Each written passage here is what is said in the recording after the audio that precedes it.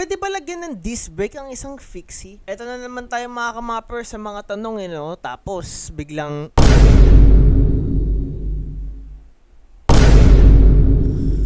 Pwede pala lagyan ng disc brake ang fixie. Pasensya na.